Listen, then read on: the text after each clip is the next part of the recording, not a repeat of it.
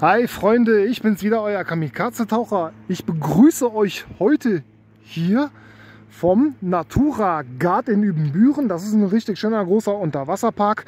Und was wir hier sehen gerade, das ist das Becken, wo es gleich reingeht ins Wasser. Das ist ein wirklich riesengroßes Gelände, richtig schön gemacht. Und in diesem Becken, da sind jede Menge Welten drin und hier gibt es auch einige Fische, darunter halt auch Störe. Im Endeffekt sowas, wie man das halt auch schon in Nullzeit gesehen hat.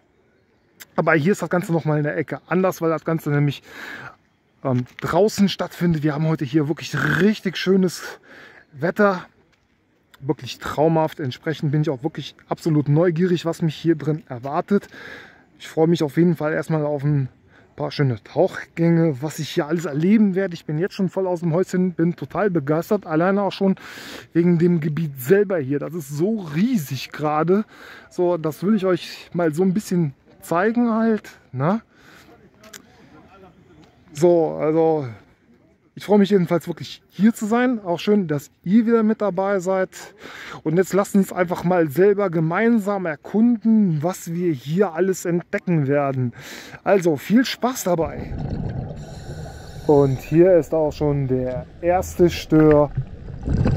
Wunderschönes Tier, auf jeden Fall ziemlich groß. Aber im Vergleich zu den anderen, die ihr noch sehen werdet, hatte der noch eine geringere Größe gehabt. Aber trotzdem alleine schon den so zu sehen, mächtig imposant. Und da ist auch der Michael, mit dem bin ich bereits zweimal getaucht. Verdammt netter Kerl, auch für jeden Spaß zu haben. Mit dem hat es dann auch Spaß gemacht, da zu sein. Da bin ich kurz zu sehen. Hallöchen, genau. Und ab geht's zum Abenteuer. Und hier seht ihr direkt, geht's weiter. Oh, und da kommen sie auch schon an. Ah, ja, ihr seht richtig, die sind genau in die Kamera reingeschwommen. Und das war nicht nur der, sondern da kommen noch ein paar weitere, die das gemacht haben. Und ihr seht es ja gerade, die sind mächtig aktiv. Schaut euch das mal an. Und da kommt der nächste und und und. Ja. Nee, also war absolut irre, wie die sich da bewegt haben. Das war quasi eine Invasion, muss man sagen. Wir sind hier am Tempelplatz der, der Tempelwächter, weil da ist ja auch ein Tempel drin, den die da angelegt haben vom Natura Guard. Und da, also die haben sich da wirklich nicht lumpen lassen, die haben da keine Kosten und keine Mühen gescheut. Und dann zu sehen, wie die großen Tiere da wirklich auch so da durchschwimmen, also das ist der absolute Wahnsinn. Muss man wirklich so sagen. Und schaut euch das mal an. Oi. Der Hammer, wirklich. Und warum die so zutraulich sind, weil die sind wirklich beinahe auf Kuschelkurs gegangen. Die Tiere die sind von den Tauchern per Hand aufgezogen worden und entsprechend sind die natürlich halt auch die Taucher gewohnt. Und wenn die halt die Taucher sehen, dann denken die, oh schön, da gibt es was zu essen. Und deswegen sind die da wirklich so, wie die da so aktiv sind. Michael war auch total beeindruckt, genauso wie ich. Also das war wirklich herrlich. Das Schöne an dem Teich ist ja auch, das ist ein eigenes Ökosystem. Die Störe sind die einzigen Fische da drin, die noch zusätzlich gefüttert werden. Die anderen Fische, da sind ja sogar Zander und Hechte drin, die werden da gar nicht gefüttert, weil da auch noch viele andere Fischarten drin sind, wie jetzt zum Beispiel Rotaugen oder auch Barsche. Und weil da halt nun mal das Angebot dann da so vielfältig drin ist, werden die halt natürlich dann auch entsprechend nicht noch extra gefüttert. So, und das hier ist auch so eine Besonderheit. Ähm, die verschiedenen Höhlen. Das ist ja wirklich ein richtiges Höhlensystem. Also die haben da zwei Höhlensysteme, haben die da wirklich da eingebaut. Das fand ich auch total interessant. Also man hat da wirklich viele verschiedene Möglichkeiten, da was zu machen.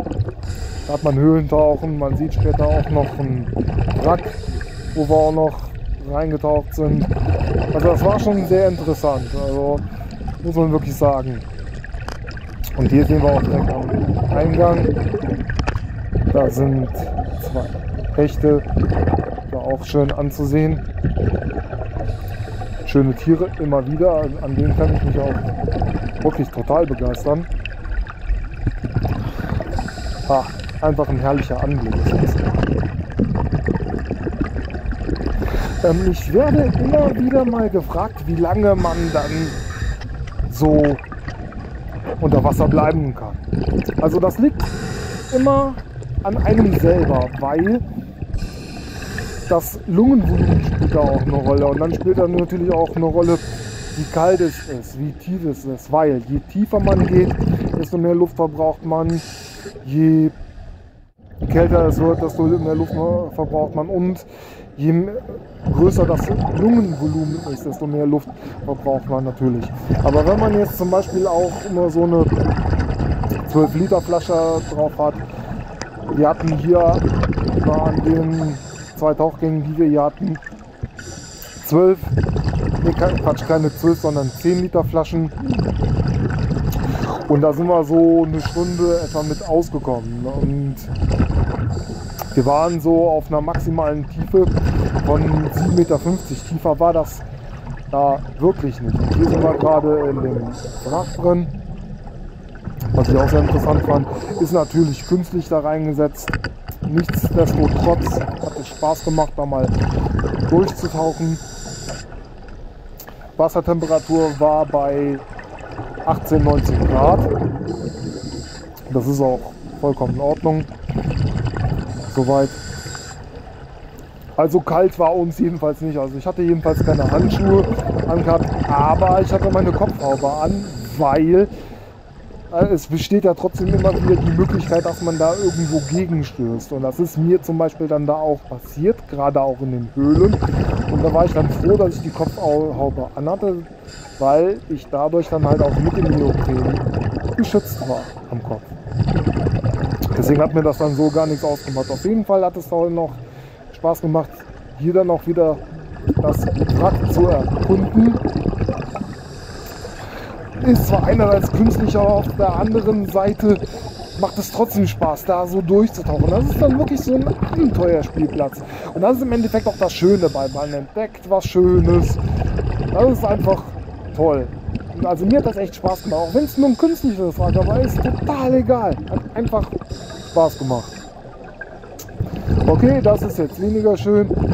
Ähm, und an meinen Kumpel Andy, der sich das Video jetzt wahrscheinlich auch ansehen wird. Kumpel, ich habe das nicht dahin geschrieben. Nur mal so zur Info, also bitte nicht hauen. Bitte nicht mich armes äh, Kerlchen hauen dafür. Ja, und das Wrack selber, wie gesagt, einfach nur schön mit anzusehen.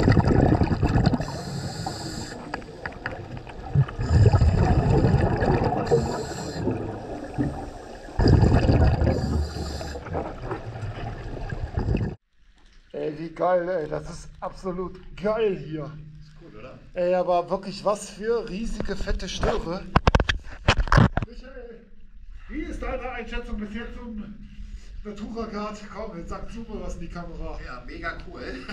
ey, aber richtig, Leute, ey, ihr werdet es nicht glauben, aber da sind Störe da unten. Ey, ihr glaubt es nicht, die sind aber wirklich einige sind bestimmt mindestens zwei Meter groß. Also anders kann ich mir das nicht erklären. Aber wie wunderschön, ey. Die stupsen einen dann wirklich aber auch so an. Das ist der absolute Oberwahnsinn. Und dann direkt auch noch hier diese äh, Koppel, wo wir jetzt gerade drin sind. Ey, das ist unnormal. Das ist so gigantisch. Das kann man so eigentlich gar nicht in Worte fassen. Das ist der absolute Hammer. Na gut, wir tauchen aber wieder zum Einstieg zurück. Und dann machen wir auf jeden Fall gleich noch einen zweiten Tauchgang. Ey, also echt, das ist der Knaller hier. Ey, ich bin begeistert, ey. Das ist so mega geil hier. Ah, Hammer.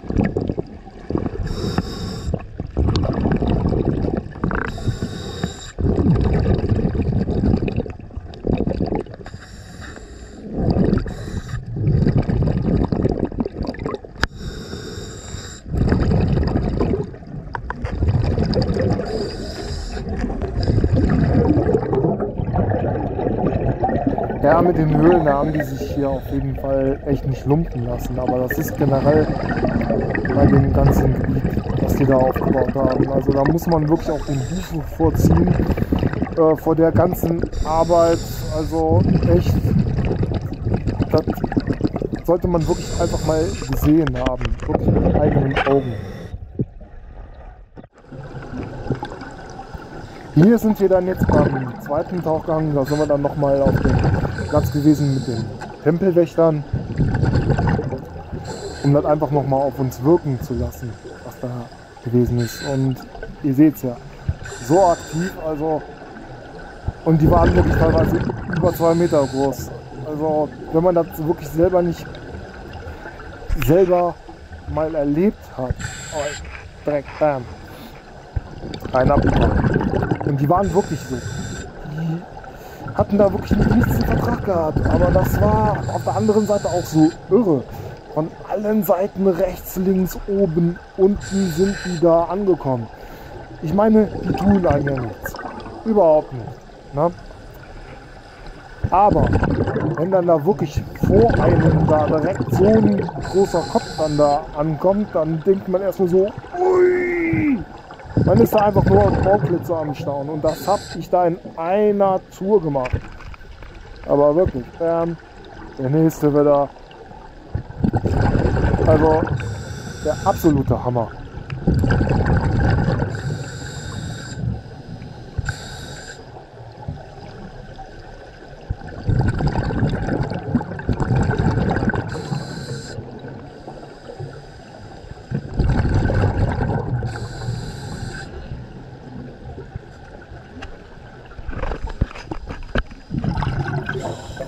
Das war ja auch mein Jahrestag als Taucher, den ich da verbracht habe. Und dann diesen Tag dann hier zu verbringen, ist einfach nur mega. Also perfekter geht es im Endeffekt eigentlich gar nicht.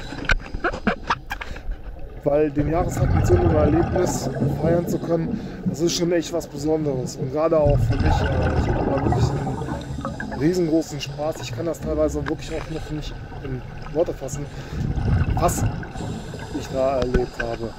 Und wie schön diese Tiere sind. Ich komme da echt nicht drüber gedacht. Das sind so wunderschöne Tiere, so riesig, teilweise über zwei Meter groß. Und so sanfte Riesen. Wirklich. Oh, das sind traumhaft schöne Tiere. Das kann man gar nicht anders sagen. Wirklich, ich bin so begeistert. Ich habe diese Tiere wirklich verliebt gehabt, muss ich sagen. Aber wirklich.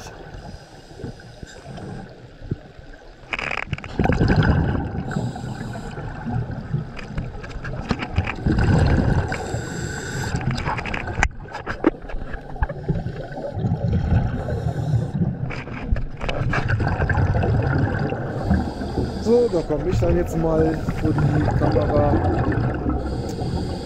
Der Michael hat das wirklich auch sehr gut gemacht war, wie gesagt, nicht nur ein toller Buddy, sondern hat auch wirklich ein paar sel selber ein paar geile Bilder gemacht. Er selber hat auch noch, wie gesagt, einige geile äh, Videos mit seiner Kamera gemacht, die ich ja selber auch noch eingebunden habe. Hier, da kommt da oh, richtig schön über einen hinweg. Da kommt auch schon der nächste. Und so ging das wirklich ganze Zeit. Kaum war der eine weg, kam direkt der nächste an. Ja, kaum zu fassen. Und hier sind wir dann am Tempel. Da, ähm, die Statuen haben die auch richtig schön gemacht. Also war schon sehr imposant. Da war ich wirklich auch mal begeistert von, nicht nur von den Dingen selber, was die darauf aufgestellt hatten. Die, aber wie gesagt, die haben sich da wirklich nicht finden lassen, was die drauf gebaut haben. Das muss man schon sagen. Da bin ich echt schwer begeistert von. Das muss man auch wirklich mal ähm, lobend erwähnen. Also richtig stark.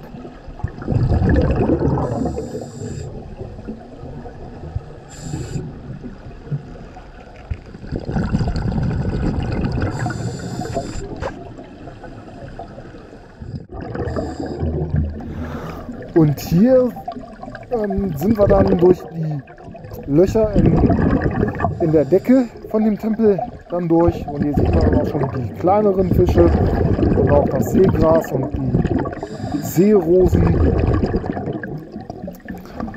Die kleineren Fische, wie gesagt, die sind halt im Endeffekt quasi so das Futter der Fleischfresser wie die Zander und auch Hechte muss man sagen, aber ist halt ein Ökosystem, also somit halt auch Natur.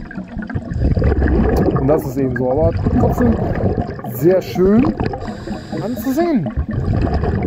Kann man gar nicht anders sagen. Und da sind wir beide dann immer so von einem Loch in der Decke nächsten Loch in der Decke dann rüber. Einfach mal kurz reinzuspringsen und zu schauen, was da so ist. Aber das ist ja genau dafür auch gedacht und gemacht, wenn man hier sieht.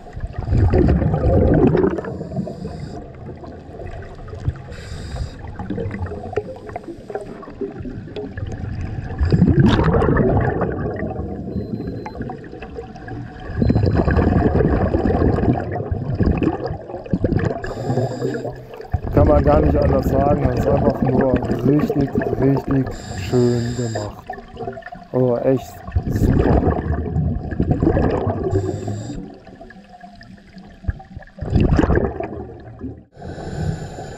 Und jetzt alle. Ah, Zander! Ah, Zander! Thunderstruck! Ja, nach dieser Zanderdame hatte ich Ausschau gehalten. Da wurde mir gesagt, dass die da halt rumliegt. Ja, da will wieder der Stör in die Kamera. Richtig schöne Dame ist das. Richtig schön mit anzusehen. War schön dich zu sehen, Kleines. So, und hier sind meine letzten Sekunden von dem Video. Richtig schöner Schaden aus der Höhle heraus.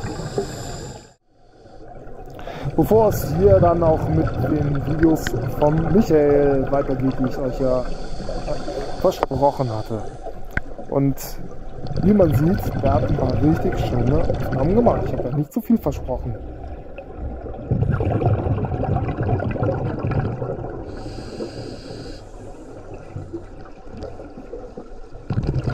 Und ich habe ja auch gesagt, wie frech die Störe teilweise waren, wie dieser hier zum Beispiel. Und ich habe das noch nicht mehr gemerkt, dass der da wirklich so an mir dran hängt. Er war einfach neugierig und nicht. Und der hier war auch schon mal Musikurs, wie so eine Katze. Ja, kann man kaum glauben. Ist aber wirklich so, wie der sich gerade verhalten hatte.